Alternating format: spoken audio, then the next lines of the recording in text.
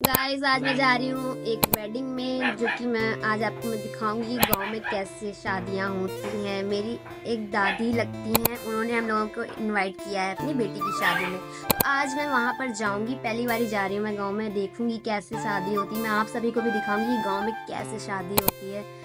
Hello guys welcome back to my new blog this is me Divyana Yadav so जिसने मेरे channel को subscribe नहीं किया सबसे पहले मेरे चैनल को सब्सक्राइब कर लिया तो अभी तो मैं कंफ्यूज हूँ कि मैं क्या पहनूँ तो मैं सबसे पहले अपनी आउटफिट सेलेक्ट करूँगी। मैं आउटफिट सेलेक्ट करने के बाद आप सभी को मिलती हूँ। मैं ना जब कहीं वेडिंग में जाती हूँ ना तो मुझे बिल्कुल समझ नहीं आता मैं क्या पहनूँ यार। मैं कंफ्यूज हो जाती हूँ मैं क्या पहनूँ।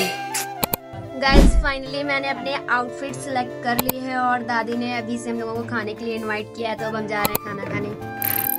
सुबह से ही हमारी दादी ने हम लोगों को खाने के लिए इनवाइट कर लिया है और हम लोग यहाँ पे आ चुके हैं खाना खाने के लिए। अभी यहाँ पर कुछ लोग खाना खा रहे हैं, उसके बाद हमारा भी नंबर आ जाएगा। देख सकते हैं कितनी धूप है और यहाँ पे बन रहा है खाना। फिर मैं खाना खाने के बाद वहाँ से निकलने लगती हूँ और मैं नीचे निकल कर देखती हूँ कि यहाँ पर लगी होती है पंचायत, क्योंकि पंचायत ना हो, ऐसा हो ही नहीं सकता।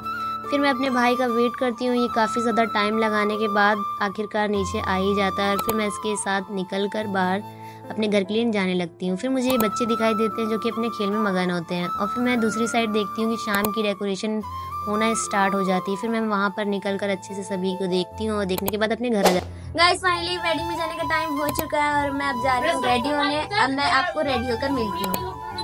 तो फाइनली गाइज़ मैं रेडी हो चुकी हूँ और अभी मेरे घर वाले तो रेडी हुए नहीं है। बताओ, मैं पहले रेडी हो गई। उनको टाइम लग रहा है। अब मैं जा रही हूँ अपनी मम्मा को रेडी करने और मेरा भाई तो देख लो, ऐसे ही बैठा है।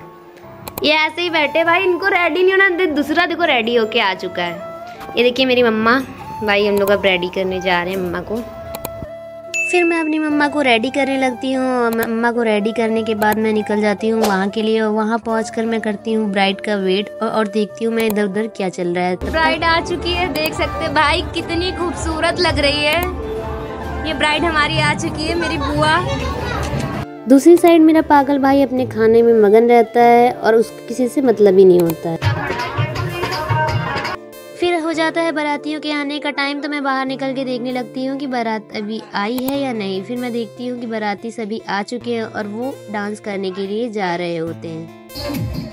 फिर मैं सभी बारातियों का डांस देखने के बाद देखने लगती हूँ कि शादी में कैसे होती है पूजा। तो मैं वो उस पूजा को देखने लगती हूँ जिसमें पंडित जी सभी को ठग रहे होते हैं और मैं उनकी बातें सुनने लगती हूँ। पंडित जी की बातें सुनने के बाद मैं प्यारे से बच्चों का डांस देखने लगती हूँ। फिर हो जाता है जयमाल का वक्त, दुल्हन जाने लगती है बाहर। तो मैं अभी दुल्हन के पीछे पीछे जाकर देखने लगती हूँ जयमाल अपने पागल भाई के साथ। जयमाल देखने के बाद मैं जाती हूँ दादी के घर। दादी दादी के घर जाकर मैं दादी को ढूँढने लगती हूँ और दादी को ढूँढने के बाद मैं उनको बताकर अपने घर के लिए निकल जाती हूँ।